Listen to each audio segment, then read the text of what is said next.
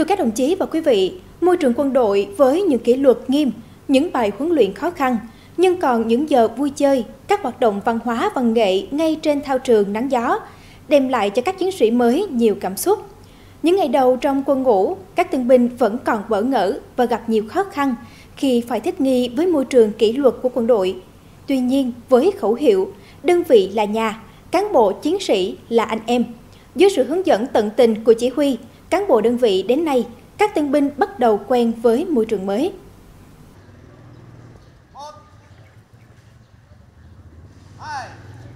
Trung đoàn Minh Đạm, nơi đảm nhận nhiệm vụ huấn luyện cho hơn 200 chiến sĩ mới thuộc tiểu đoàn 440. Dù mới chỉ vào đơn vị hơn 2 tuần, nhưng các chiến sĩ mới đã dần làm quen với không khí của môi trường quân đội. Bài thể dục buổi sáng, dù các động tác vẫn còn chưa đồng đều,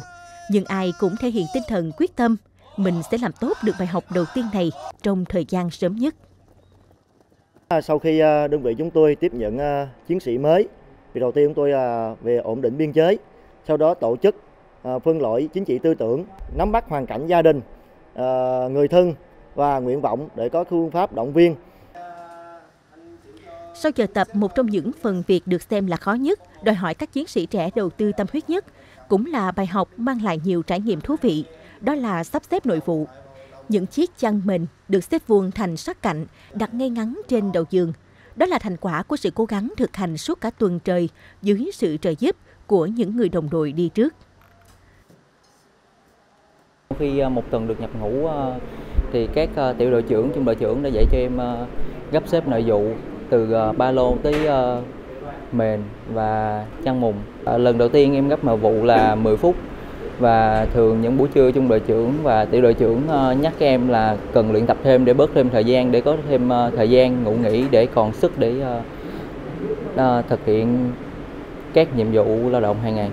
Ở nhà thì bình thường là tụi em ngủ dậy thì chỉ xếp mình mùng bình thường thôi, là gấp gọn lại là được rồi. Nhưng mà khi mà bước vào môi trường quân đội thì phải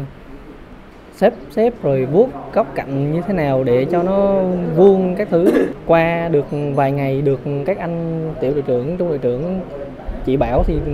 cơ bản là tụi em cũng đã sắp xếp được lớp học điều lệnh đội ngũ dành cho các tân binh. Mặc dù nắng đầy gay gắt trên thao trường, kệ những giọt mồ hôi chảy ướt đẫm từng gương mặt, trên lưng bộ quân phục còn sáng màu vải mới. Các chiến sĩ trẻ đặt hết sự tập trung vào từng thế đứng, từng động tác tay. Sau những lần được chỉnh sửa từng dáng đi, thế đứng sao cho vững vàng, đúng quy định của cán bộ hướng dẫn và cả sự nỗ lực không ngừng của chính các bạn chiến sĩ. Các động tác đã dần thuần thục hơn.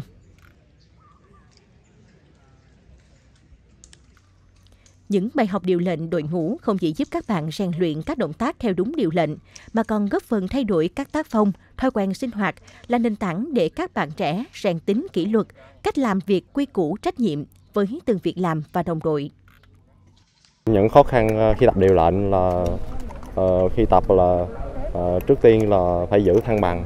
uh, cũng như là cùng đồng bộ với mọi người. Động tác uh, phải dứt khoát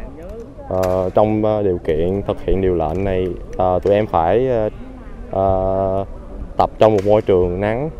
uh, gay gắt nhưng mà bọn em vẫn cố gắng để thực hiện được tốt những điều lệnh này à, sau khi em nhập ngũ thì em cảm thấy là mình nhanh nhẹn hơn trước với lại là mình hòa đồng hơn rồi là mình là kiểu như là nâng cao cái tình đồng chí hơn nữa là kiểu như là đồng đội là lúc nào cũng có kế bên nhau đó mình không có kiểu là chia rẽ gì hết á luôn đồng hành cùng các chiến sĩ mới bất chấp cái nắng đổ lửa của thao trường huấn luyện là các cán bộ khung huấn luyện, các đồng chí trung đội trưởng, tiểu đội trưởng phụ trách công tác huấn luyện chiến sĩ mới. Căn chỉnh cho chiến sĩ từng động tác súng, từng tư thế vận động, kiểm tra từng đường ngắm bắn, chỉ dẫn tận tình từng lối kỹ thuật cho từng chiến sĩ. Sự tận tình sát cánh của các cán bộ huấn luyện cũng phần nào đem đến động lực cho các chiến sĩ, thêm quyết tâm hoàn thành nhiệm vụ được giao.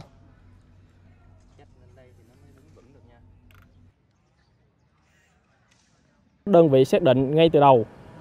chuẩn bị chu đáo về công tác chuẩn bị, về nơi ở, ăn uống cho bộ đội đảm bảo được cái phục vụ huấn luyện hoàn thành tốt các nhiệm vụ. Nên ngay từ đầu tiếp nhận chiến sĩ mới năm 2024 thì đơn vị nhanh chóng lấy chích ngang tự thuật của bộ đội để làm cơ sở để nắm bắt tư tưởng của anh em khi bước vào một môi trường mới. Và bên cạnh đó thì đơn vị tổ chức sinh hoạt, quán triệt các chế độ trong ngày, trong tuần để bộ đội làm quen với thời gian và trong môi trường quân đội không phải bỡ ngỡ. Sau giờ huấn luyện, các bạn tân binh nhiệt tình tham gia hoạt động tăng gia sản xuất tại đơn vị. Bên các lúng rau xanh, các bạn trẻ người nhổ cỏ, tỉa bỏ những chiếc lá sâu trong luống rau. Tớp thì tranh thủ sang thêm khoảng đất mới để mở rộng diện tích tăng gia cho trung đoàn. Tớp thì được phân công tưới tắm cho các luống rau.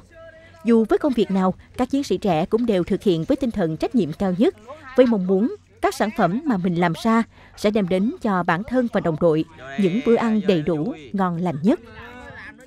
Em à, trước khi nhập ngũ thì em à, đi học, rồi à, em có phụ gia đình một chút công việc nhà. Thì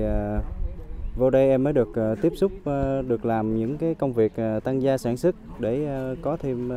những kiến thức mới. Sau một ngày huấn luyện thì tụi em nghĩ cái công việc tăng gia sản xuất này là một cái niềm vui. Có khoảng thời gian này để em trò chuyện với các bạn.